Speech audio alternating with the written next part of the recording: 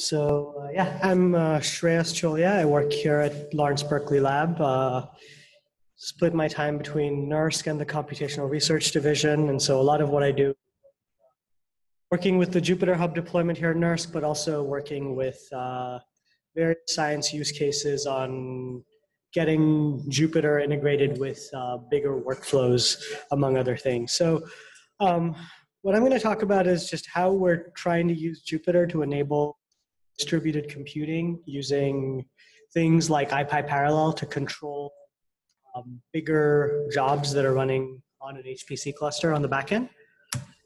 Um, and so this was originally had a, a use case that was uh, out of the Atlas uh, LHC detector um, where they wanted to do some distributed deep learning using convolutional neural networks to be able to classify some of these images coming out of the detector. Um, and so without getting into the details, yeah, the idea is to be able to use Jupyter um, to do a, to solve a couple of these classes of problems.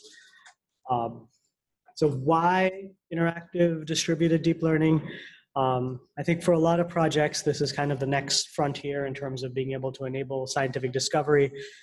Um, typically, take a while to train these networks and you're you know doing a lot of tuning and figuring out all the parameters and hyperparameters that go into a model.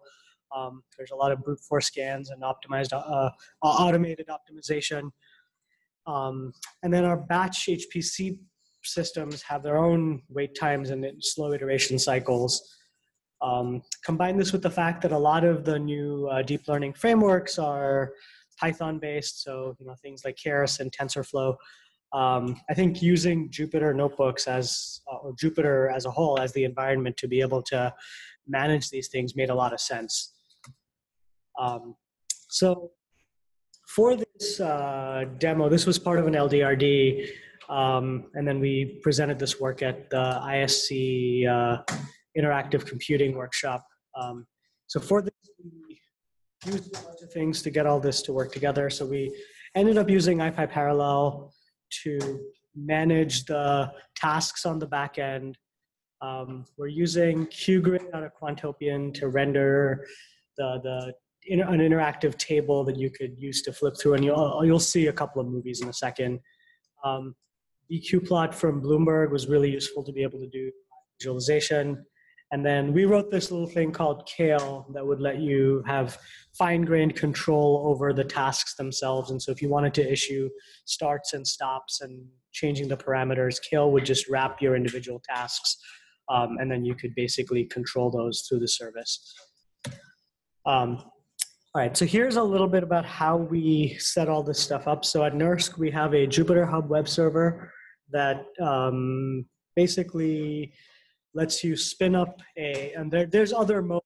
Olive will go into a lot more detail on the various other ways you can do Jupyter notebooks at NERSC, but for this particular effort, we're spinning up a notebook on a, the equivalent of a login node. So it's got a lot of memory, it's got a lot of CPU, and it's, it's a shared resource, but we can spin up a lot of notebooks on there. So you spin up the notebook server process on here, you start up the kernel, which runs the IPyParallel um, client, and then you bring up um, a bunch of backend nodes on the compute side. Uh, we had a little magic called IP cluster that would let you do that. So you just give it a few parameters and it spins everything up and calls for you. And it lets you set up all of these nodes, which you can then control using IPyParallel. Because we're using IPyParallel, it they also gave us the ability to use um, MPI on the back end, um, we did play around with Dask as well, but in the end, partly because we knew it better, but also because there were a couple of little tunable things we could do in IPyParallel. We, we ended up using that. Um, that said, Dask is probably better supported, and if if you know there's a way to do this in Dask moving forward, that would be interesting. Um, and so yeah, this is basically just a couple of screenshots for how we set this thing up. So you know, you just describe your job, pass it into this magic, um, bring up an IPyParallel client, which connects to the cluster on the back end. So it's just connecting to these workers, and you're off and running.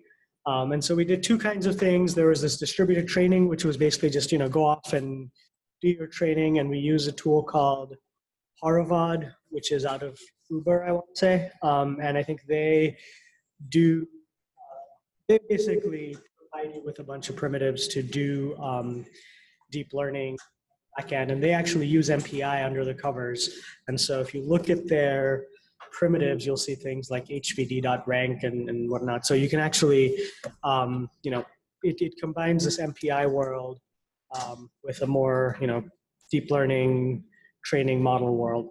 Um, and then we noticed that we could actually just use IPyParallel to start the workers and then use Horovod to do all the communication between those. And there was really no overhead in terms of the infrastructure. All right, so that was maybe not quite interactive. It was, you know, you're using the notebook to control this stuff. The more version of this was for doing hyperparameter optimization. Um, and so this actually involves setting up these workers and then trying to optimize for hyperparameters across a bunch of different uh, possible models that you're trying to use. And so what we're doing is running each task separately and then seeing which ones, which tasks are doing better. So you can get the loss um, and the accuracy. You can sort through what's going on. Um, and then, so, so it's a lot more You'll see from this short little movie we have here. Um, but, ah, I went. Oh. No. Hang on. I think I can play this. All right, I have a movie on my, I have it locally. I'll just play it off of here. HBO movie fast, yeah.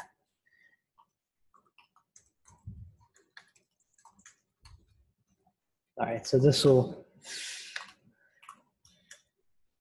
um, all right, and so the idea here is that you're basically running this across a space of hyperparameters, which you can see um, down over here.